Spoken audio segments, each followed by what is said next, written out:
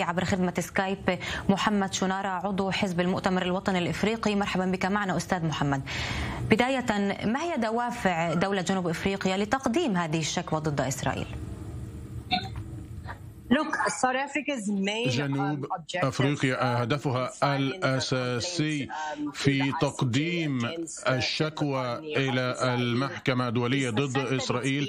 هي حقيقة أن منذ ثمانية عقود إسرائيل تقوم بعملية تطهير عرقي وانتزاع الناس من أهاليهم وتحريمهم من حقوقهم. لذلك بالنسبة لنا في المؤتمر الوطني الإفريقي وفي الحكومة الجنوب افريقيه وكشعب جنوب إفريقيا. مهم لنا أن نقف إلى جنب المستضعفين سواء كانوا في فلسطين أو في الصحراء الغربية أو في فنزويلا أو في كوبا. نحن نقف دائما إلى جانب المضطهدين. طيب سيد محمد هل ربما تعاون إسرائيل مع حكومات جنوب إفريقيا هو أحد الدوافع لتقديم هذه الشكوى؟ Um, انظري. التعاون لم يعد قائم بين الحكومتين إسرائيل أو الحكومة الجنوب أفريقية.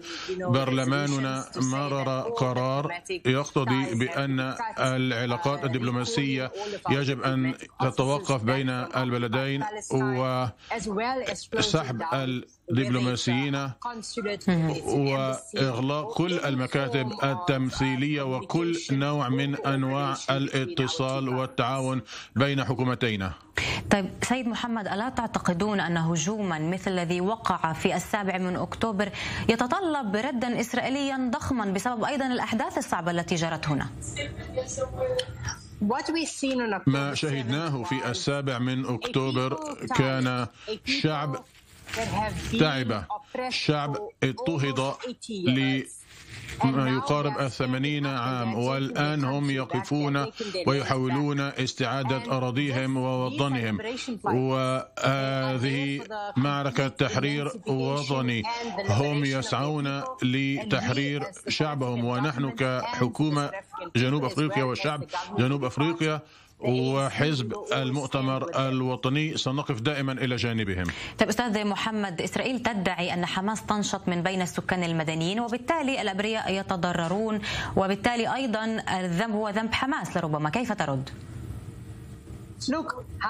حماس وفق لنا كشعب وجمهور جنوب أفريقيا والمؤتمر الوطني الأفريقي نرى بهم حركة تحرر وطني نرى بهم كأفراد يسعون لتحرير شعبهم ونحن سنقف دائما خلف أولئك الذين يقاتلون من أجل العدالة ومن أجل الحرية.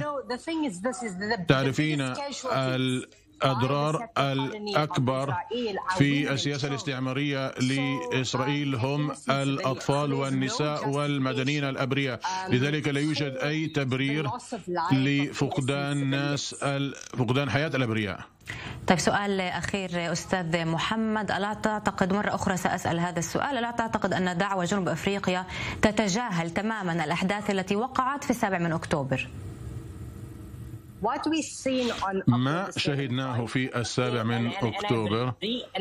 وأنا سأشدد um, على ما قلته. هي أننا شهدنا شعب ينهض وينتفض من أجل حقوقه الأساسية. أي من ادعاءات الاستعمار الصهيوني بشأن قتل الأبرياء واغتصاب النساء وقطع الرؤوس لم يثبت.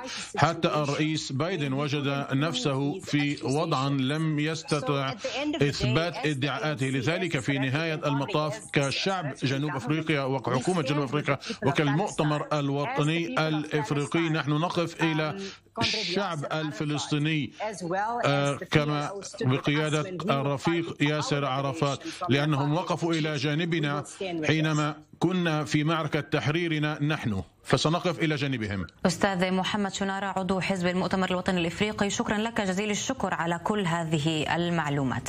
أرحب بضيفي هنا في الاستوديو دكتور مردخاي كيدار باحث ومحلل سياسي. بداية كيف ترد على كل ما قاله الأستاذ محمد؟ أعتقد أنه قدم خدمة عظيمة لإسرائيل.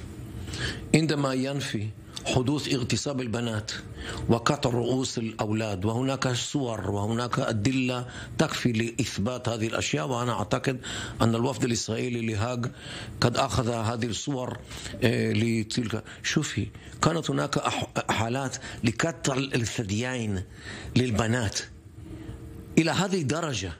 سقطوا هؤلاء المجرمين الذين قاموا بهذه الأشياء. وهم وهو ينفي ذلك؟ وهذا هل هل هذا شيء داخل الصراع على الأرض أو صراع على التحرر كما كما يقول؟ هل هل هذا يجوز لهم قطع رؤوس الأولاد؟ وهو قدم خدمة عظيمة لإسرائيل بأنه أجاز هذه الأفاعيل بسبب الصراع للتحرر. شو شو وقال أن هذا أيضا ليس صراع الذي بدأ اليوم. هذا هو ما قاله. سؤال آخر دكتور ولكن النزول هذه درجة من الوحشية والبربرية؟ لا تعتبر دكتور مرتخاي أنه لربما من بين اعتبارات جنوب أفريقيا ليس فقط كل ما يحدث في قطاع غزة من قتل ودمار اليوم وإنما أيضا وقوف آه، إسرائيل إلى جانب حكومة جنوب أفريقيا في السابق لربما. والنظام الأبيض يمكن أن نقول. شوفي آه، هناك دول يعني أسوأ بكثير من جنوب أفريقيا سابقا. روسيا مثلا. ماذا فعلت بتشيشنيا؟ للمسلمين في تشيشنيا في شيشان في الست في التسعينيات. ماذا فعلت اليوم؟ في السنة ولكن هل تعتقد أن إسرائيل تستخدم هذه الحجة وهناك روسيا وهناك الكثير من الأصدقاء لروسيا. ماذا فعلت إيران بمساء آه، آه، الأميني؟ يعني قتلته بسبب عدم ارتداء الحجاب. والكثير الكثير من مهسا الأميني خلال الكثير من السنوات اضطهاد النساء في, في إيران. ليس هناك أصدقاء لإيران خاصة جنوب أفريقيا؟